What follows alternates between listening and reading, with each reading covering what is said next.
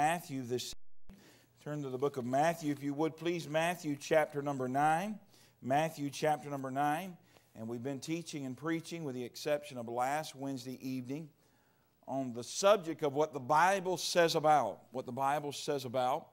And of course we've dealt with um, a couple of different things uh, what the Bible says most importantly about itself because everything that we believe has to come from truth.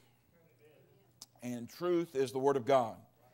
And we have to, we have to understand that, that we have to decide you're never going to convince someone of truth until they understand the source of truth is the Lord Jesus Christ.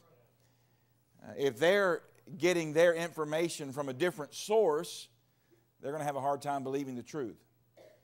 And so we have to we have to understand that what the Bible says about itself. And then we spoke on what the Bible says about same-sex marriage and what the Bible says about alcohol.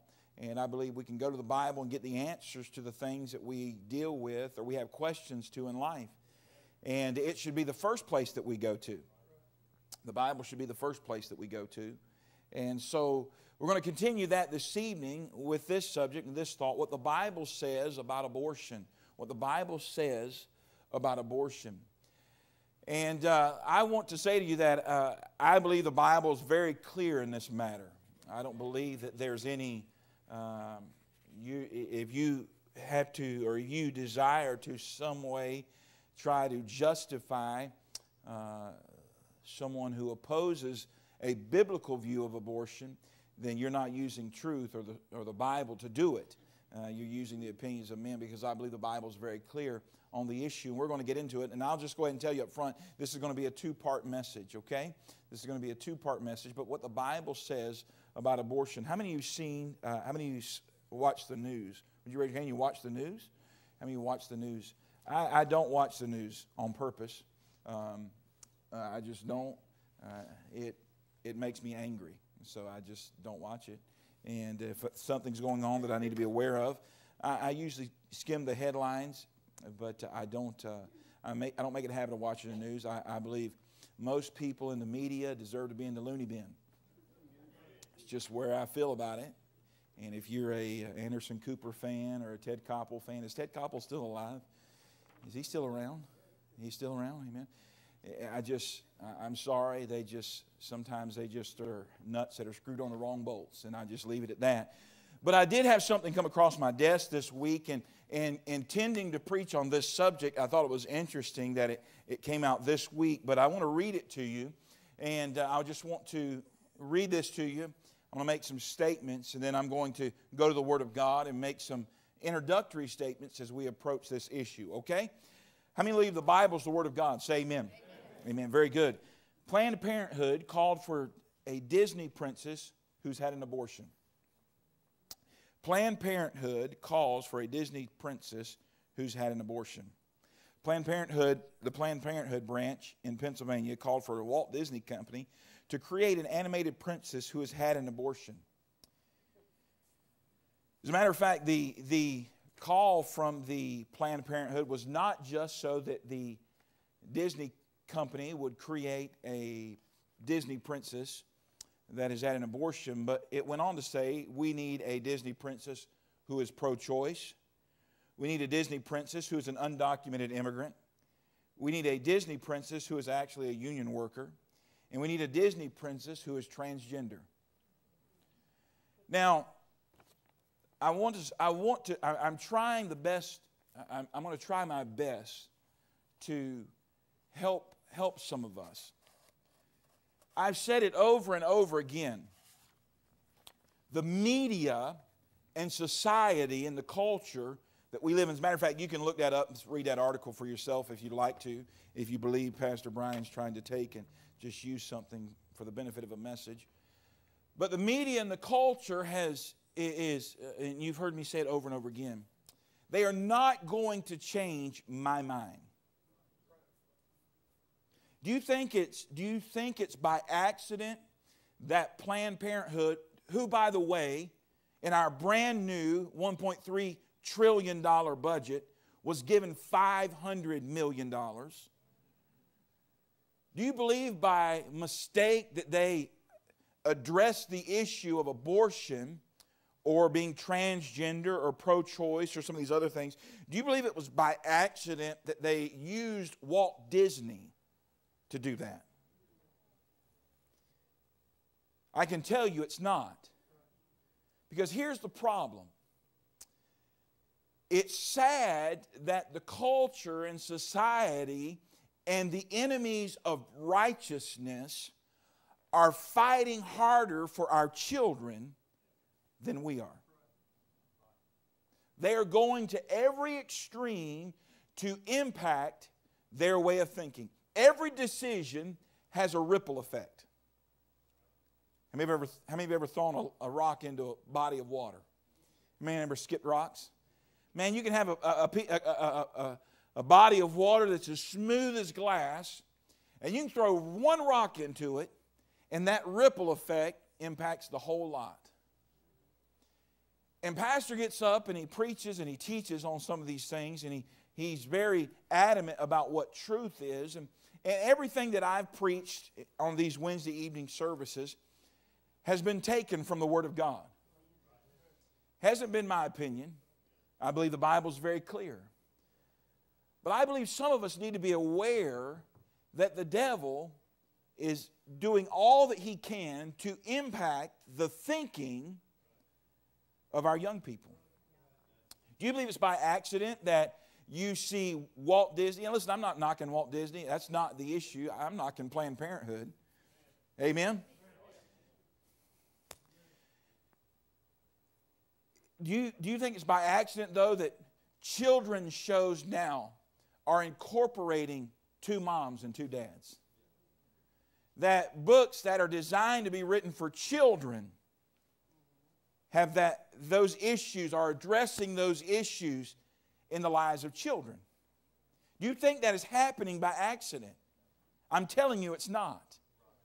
The devil is trying to impact the way these young ladies, these young men, the generation that, that we are trying to train in the back this evening, he is doing all that he can to impact their thinking. Because as a man thinketh in his heart, so is he.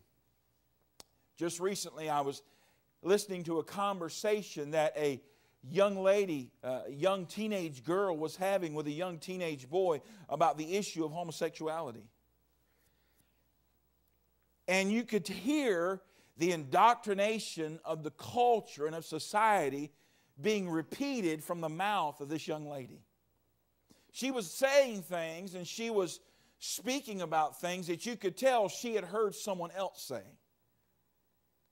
And the devil is doing all he can to impact the way that these young people are thinking. And the devil, sad to say, is fighting harder for them to go the wrong direction than we are for them to go the right direction. That bothers me. That concerns me.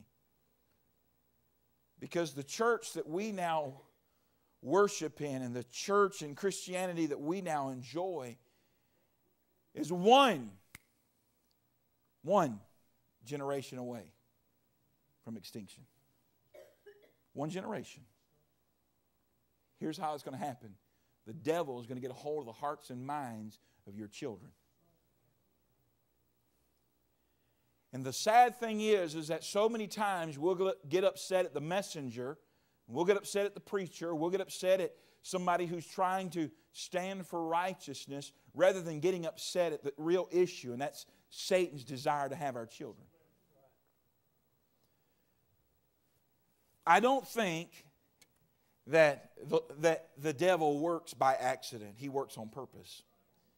And I believe we must deal with the truth. We must deal with the truth. I know that these are issues and these are topics and these are things that are very, uh, uh very, uh, it, it can get very edgy. People have certain opinions, and we live in a world today where every one of us knows somebody who's involved in homosexuality. And somebody says, Well, are we supposed to hate those people? You've never heard Pastor Brian say anything about hating homosexuals. And if you say that, you're lying.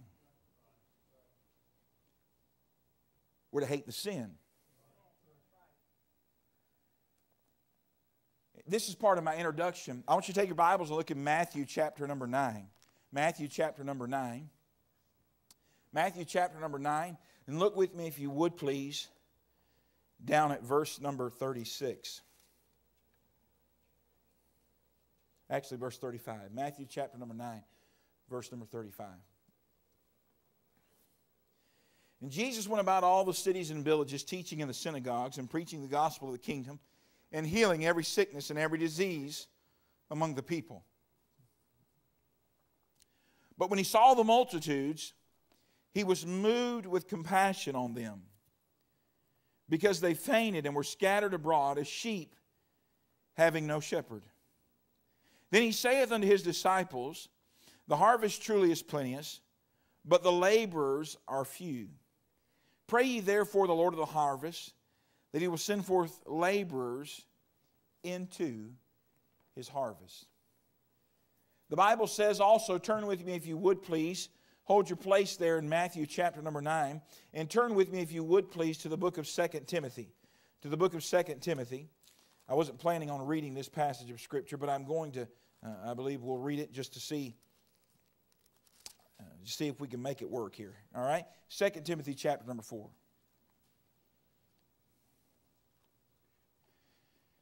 2 Timothy chapter number 4. Of course, 2 Timothy chapter number 3, the Bible teaches us that evil men and seducers will wax worse and worse. The world's going to get darker. And when you think it can't get any worse, it's going to get worse. And here's how Paul tells Timothy to respond. He says, I charge thee therefore before God and the Lord Jesus Christ, who shall judge the quick and the dead at his appearing and his kingdom. Preach the word. Be instant in season, out of season, reprove, rebuke, exhort with all long suffering and doctrine. For the time will come when they will not endure sound doctrine, but they will, but after their own lust shall they heap to themselves teachers having itching ears. And they shall turn away their ears from the truth, and shall be turned into fables. But watch thou in all things. Endure afflictions, do the work of an evangelist, make full proof of thy ministry. For I am now ready to be offered. The time of my departure is at hand. I fought a good fight. I've finished my course, and I've kept the faith. Henceforth is laid up for me a crown of righteousness, which the Lord, the righteous judge, shall give me at that day, and not to me only, but to all them also that love his appearing. That love his appearing. Look in verse number three. For the time will come, well, go back to verse number two. Preach the word. Be instant in season, out of season, reprove, rebuke, exhort with all long suffering and doctrine. For the time will come when they will not endure sound doctrine. The Bible says that the time will come in 2 Timothy. I would say to you today, the time is now. Churches are growing by leaps and bounds that preach no doctrine. They will not endure sound doctrine. Listen to me. But after their own lust shall heap to themselves who? Teachers. They'll be drawn to teachers that don't step on their toes, that don't contradict how they live, that never upset the apple cart, having itching, having itching ears. And they shall turn away their ears from the truth there's a progression that takes place in 2 Timothy here where the Bible says that they'll not endure sound doctrine. They'll say, you know what, eh, they, they used to maybe sit in church and they used to agree with what the preacher's saying and they used to, to, to stand and line up with what the Bible said. Let me, let me just go back.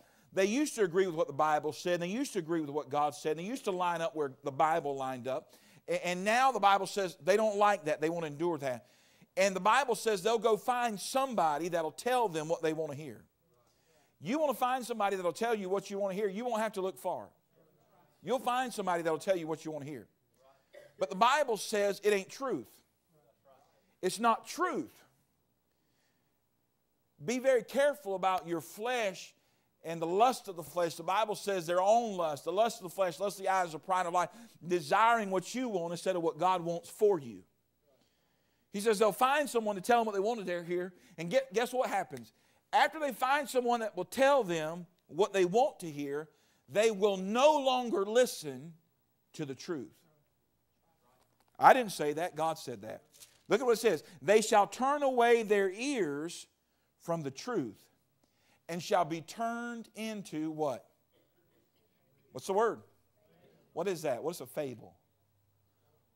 What's the, what's the, what is the, what is the plain spoken word for fable? A lie. The Bible says they'll begin to believe a lie. There's a progression. I don't really agree with that. I don't like that. Here, here's the point. Man, I, this is the introduction to the introduction to the introduction, all right? Here's the point. When we start getting at to a place in our life where we don't like what the Bible is saying,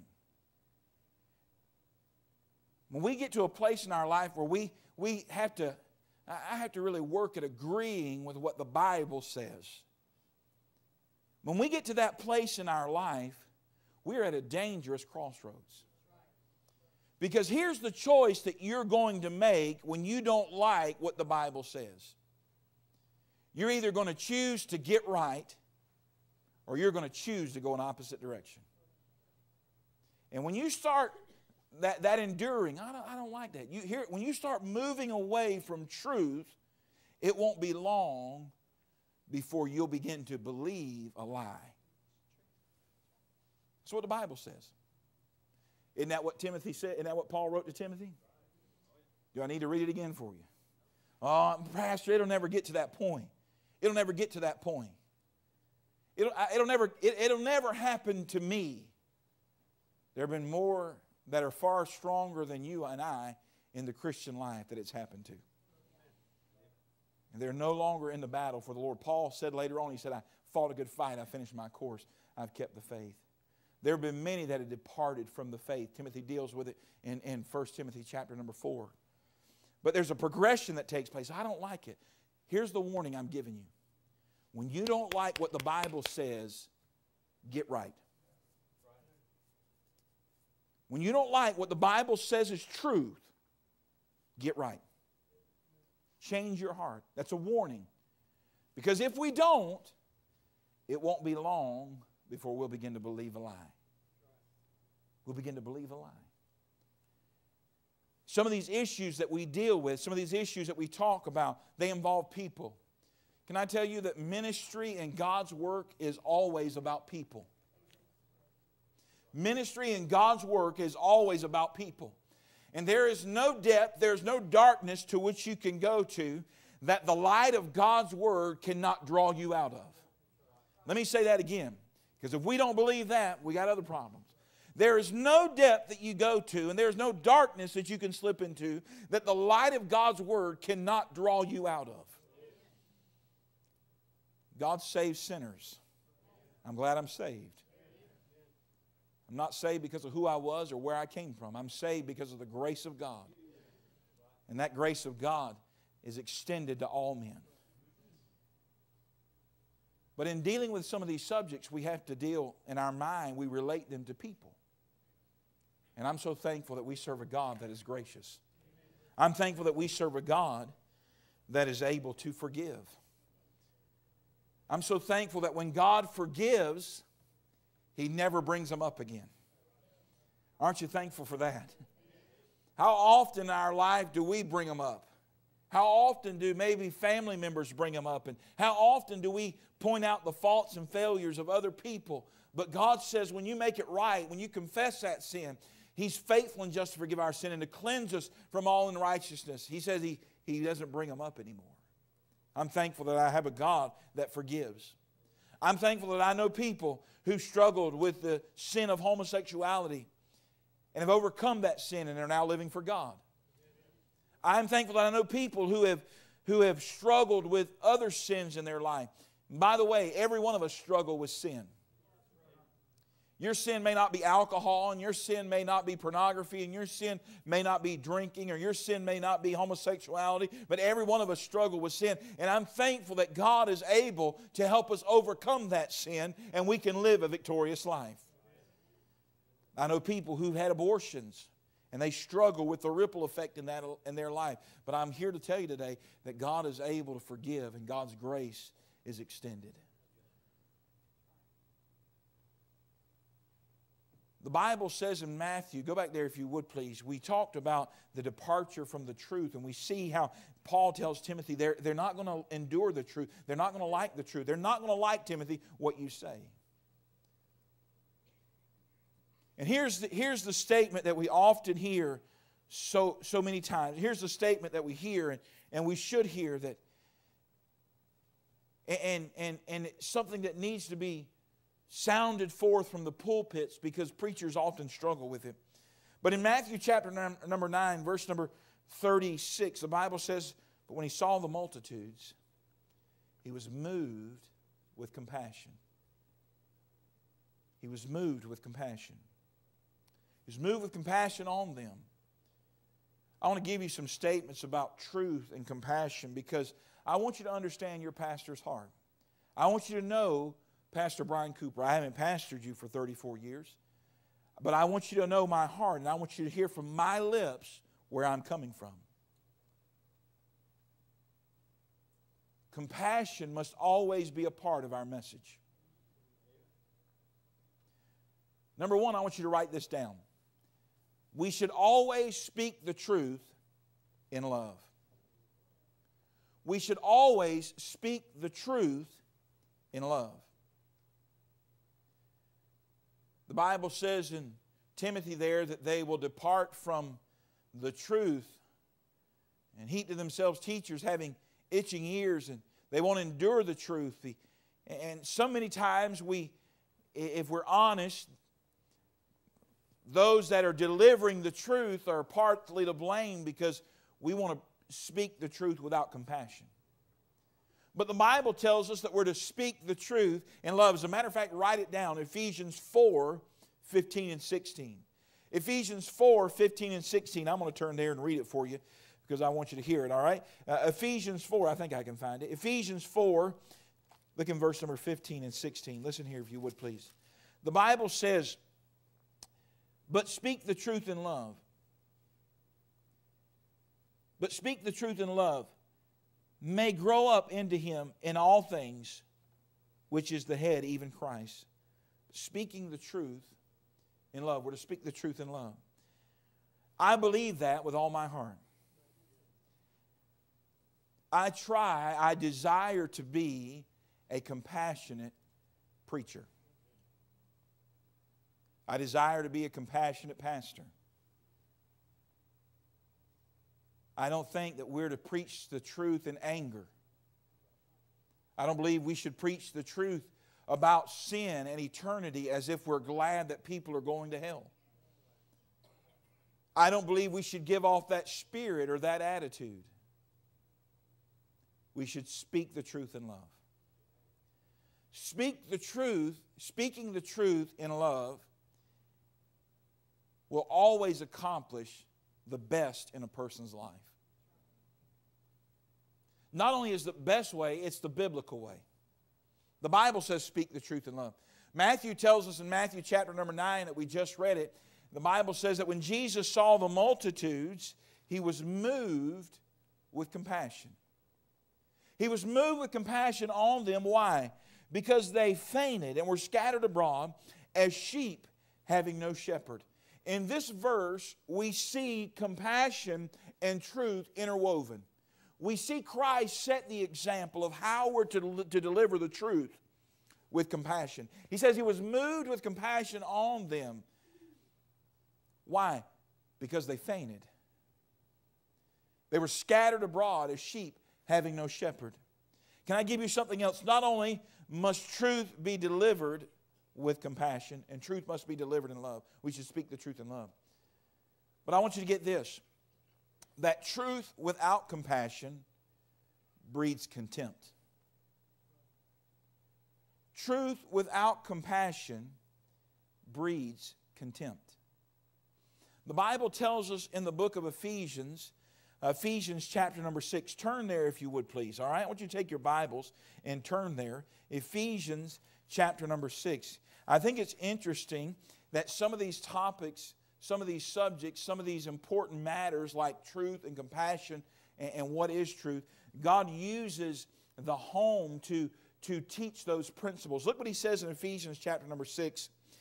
Look in verse number 1. Children, obey your parents in the Lord, for this is right. Why should we obey our parents, children? Because it's right. Children, obey your parents in the Lord, for this is right. Honor thy father and mother, which is the first commandment with promise. I'm soon to be 41 years old. My mom's sitting in the church service.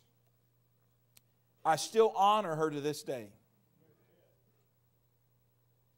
You don't ever grow up and not have to honor mom and dad. As a matter of fact, if you don't honor them, the Bible says in verse number three, that it may be well with thee, that thou mayest live long on the earth. When we don't honor mom and dad, God says, I cut days off your life. That's what He said. I don't know that I believe that. That's the truth. And you fathers, what does He say? What's the next word? Provoke not your children to what? That word provoke there means to incite. That word provoke means there to stir. He says, don't incite, don't stir your children to wrath. You say, Pastor Brian, how's that happen? Here's how it happens when we deliver the truth without compassion. When we deliver the truth without compassion, we provoke our children to wrath. We incite anger. We make them upset. We get them bothered because we, we, we proclaim truth without compassion because truth without compassion breeds contempt. Well, I, I, I can deliver the truth. I see sometimes, I, I remember growing up, and I remember, uh, you know, I played Little League Baseball. How many of you play Little League Baseball, play Little League Baseball, or coach Little League Baseball, or you're a parent of a Little League Baseball player? Some of the most interesting people at Little League baseball games are not the kids, they're the moms and dads. How many have ever seen that dad who believes that his four year old son is going to be the next Dale Murphy? And man, he's out on the field, mom's out on the field, and man, they're yelling and cussing and screaming and, and maybe the kid's up there batting and he strikes out. You know, he's, he's three years old. His helmet's four times too big for him. The bat's longer than he is. He can barely get it around, and dad believes he's supposed to be a superstar. And when he strikes out, dad flips out. We'll sometimes act the fool about things we shouldn't act the fool about will sometimes incite things in our kids. Do, do, you want him to hit a home run? The truth is, yeah, you want him to hit a home run, but the fact is, he's probably not going to do it. And we'll get, we'll get to delivering truth without compassion. When we discipline our children in anger, we breed contempt. When we handle a, a matter unwisely, when we lose our temper, when we get upset, when we, when we act in a way that displeases the Lord. And we can be very specific in those areas. When we do that, we do not accomplish what God desires to accomplish in their life. We're to preach the truth in love, but when we preach it without compassion, it breeds contempt. It incites and it stirs away from God.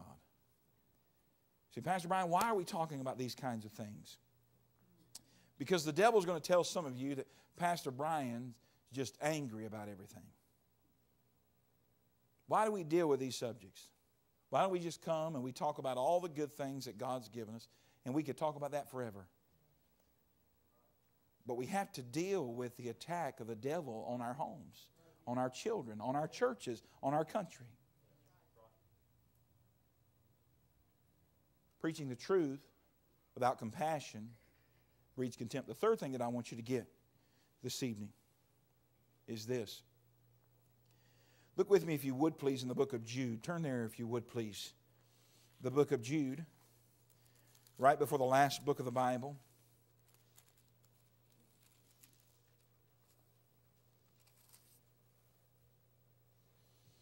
Keep yourselves, verse number 21.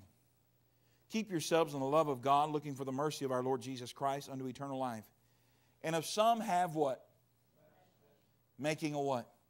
Making a difference. And others say with fear, pulling out of the fire, even the garment spotted by the flesh. The third thing that I want you to get about truth and compassion tonight is number one, truth must be delivered with compassion. We're to speak the truth in love. The second thing is truth without compassion breeds contempt. The third thing that I want you to get is this compassion without truth is a lie. Compassion without truth is a lie. The Bible says, and some have compassion, making a difference, saving, and others save with fear, pulling them out of the fire. Let's go back to little Johnny and little Susie. Little Johnny and little Susie come to mom and daddy one day, and they have found it's, it's Thanksgiving time, and they have found the electric knife. Johnny and Susie throw a fit because they want to play with it. I want to play with it. I want to, I want to play with it. Want, and mom and dad say, well, I just want to be compassionate. So you run off over there and you play with it, okay? Be careful. I don't want to hurt your feelings. But, but you'll be okay. Compassion without truth is a lie. You know why pastors get up and they say, you must trust Jesus Christ as Savior? Because if you don't, you're going to die and go to hell. So, in delivering truth, we're being compassionate. Because compassion without truth is a lie. I can't figure out, I can't figure out why I'm dealing with all these problems. Well, how, how, how's your relationship with the Lord? Oh, I don't want to deal with that. I want to, I want to deal with this over here. No, no, no. You can't deal with all the other issues until you deal with the issue. You can't deal with solving the problems of your life until you deal with where you are with the Lord. And if your life isn't right with God, you're not going to solve all those problems. I don't care how much you're petted and prodded and everybody wants to make you feel good. The issue is the relationship with Jesus Christ. And we say, well, what's the problem? Uh, uh, let's just, let's just be compassionate. Let's not deal with the subject. Let's not deal with this issue. Let's not deal with this thing that, that is, incites people to maybe consider where they are, maybe things that they might not agree with that. Uh, let's just deal with things everybody agrees on. No, no, no. Because compassion without truth is a lie. And I pray the Lord takes me to heaven before I ever get behind that pulpit and be content with just loving everybody without preaching the truth. Because my compassion won't help you in eternity. The truth will.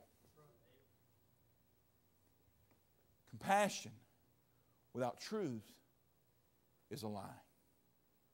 God said, Speak the truth in love. As a matter of fact, if you look in Galatians, Galatians 4, he says, Am I your enemy because I tell you the truth? Isn't it interesting who we make enemies out of?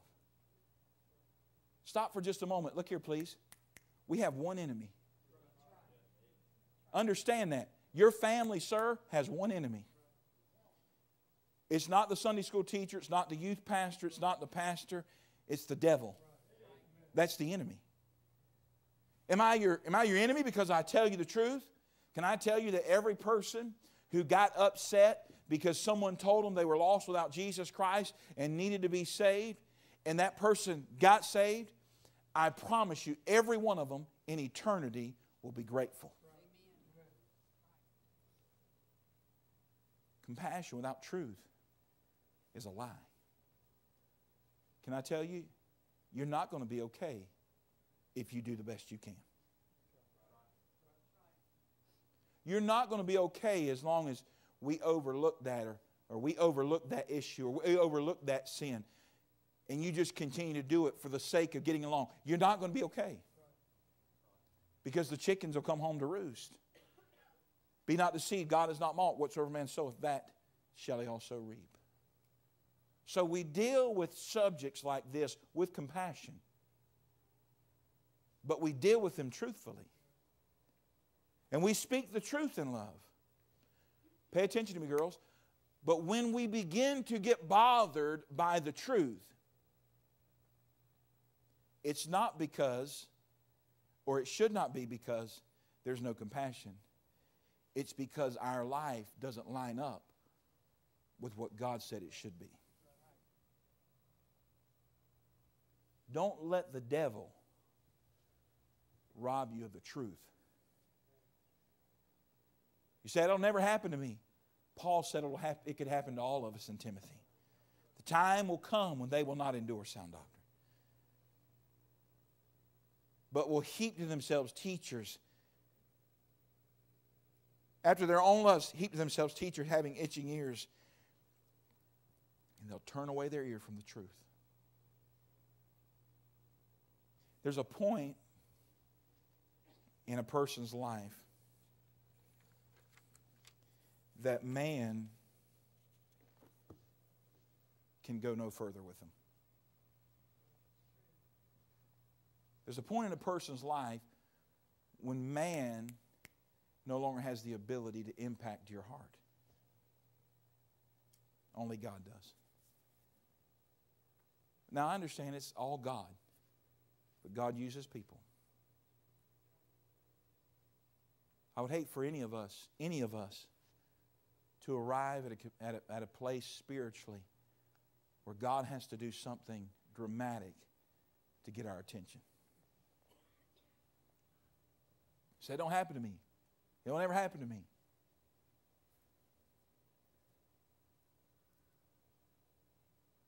What's the problem? The problem is not the messenger. The problem is not the message. The problem is our life needs to be what God wants it to be. Speak the truth in love. But just because we speak the truth doesn't mean we, we lack compassion. Because compassion without truth is just a lie. Truth without compassion breeds contempt. That's why Jesus said he was moved with compassion. Why was he moved? Because they fainted. They were like sheep that had no shepherd. He revealed the truth. You're weak. You falter. You fail. But he was moved with compassion. Let's bow our heads and close our eyes, if we could, please, this evening. I told you this message was going to be a two part message. We deal with subjects that are very personal